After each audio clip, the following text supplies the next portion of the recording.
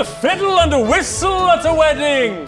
Huh? A whistle soars, catches the air, penetrates the chatter, the celebratory hubbub, waiting for things to kick off. Huh? He knew that he was being watched from afar.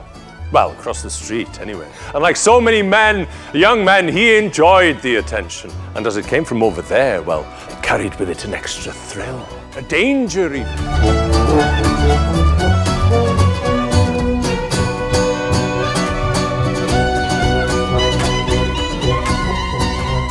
Is that the Donegal, Abrams, or the Clare? Russia? Well, the Irish have travelled far.